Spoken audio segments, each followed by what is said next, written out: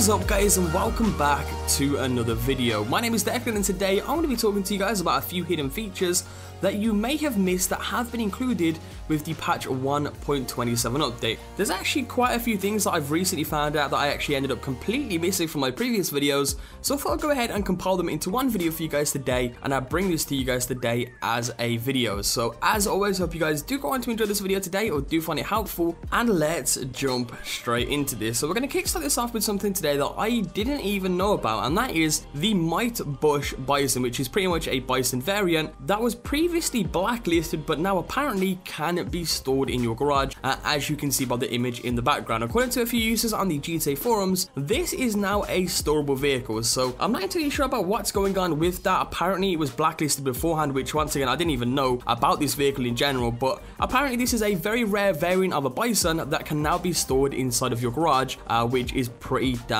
awesome. In addition to this, something I also missed from my previous videos is the fact that iFruit modified paint jobs are no longer in the game. So, you know, you used to be able to do this on, I believe, the Sovereign motorcycle, where essentially uh, you could use the iFruit to add a paint job or an awesome looking paint job to the Sovereign, whereas that has now been patched and those paint jobs have now apparently been removed for the majority of users, which is pretty unfortunate. I think that was pretty awesome how you could do that in the past, uh, but that is now not a thing anymore. Another addition is the fact that motorcycle helmets now stick with you uh, when going from session to session. I think there used to be an issue sometimes where uh, if you applied a motorcycle helmet when you would find a new session or if you take it off, then find a new session, when you spawn into that session, the motorcycle helmet would still be on, and vice versa as well. Sometimes you'd apply it, and then when you find a new session, sometimes it would be completely off your head, whereas now, that's also been patched, and that now saves every single time you go from session to session, of course, alongside the body armor as well, uh, which is also a pretty damn awesome addition. Another small additional feature is the fact that the Merryweather Mesa, which you would usually call up the Merryweather Mercenaries to steal it from them, can now be sold when you apply a tracker to, whereas before apparently, uh, this vehicle could not be sold inside of the Los Santos Customs, and the selling value for it is $8,700. I have no idea why you would want to sell that, but just in case you guys do, of course, you can now go ahead and sell it with this new addition.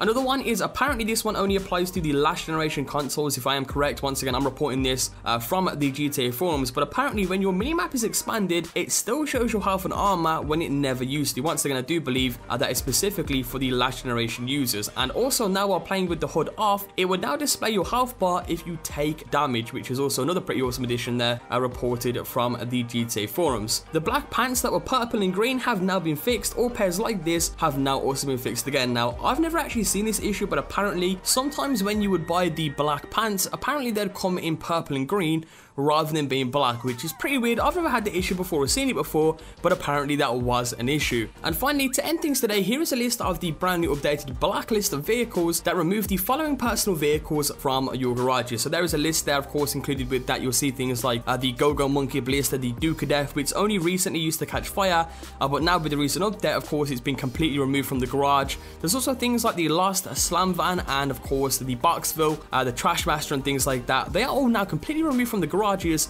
Uh, just in case you guys were wondering where on earth your modded vehicles in your garages went, uh, that was the reason why. So with that being said, that pretty much wraps it up for this video today. I just thought I'd kind of compile a few bits of information just in case some of you out there uh, didn't know about a few of this stuff. And I thought I'd bring it to you guys today because some of this stuff actually surprised me and I personally never knew about this. So with that being said, guys, hope you did enjoy this video today or did find it helpful. If you did, be sure to leave a like on the video, guys. Your support, of course, is always greatly appreciated on the channel. Let's see if we can shoot for something well over a thousand likes. That'd be absolutely crazy. Subscribe if you're new, and I'll catch you guys next time with a brand new video.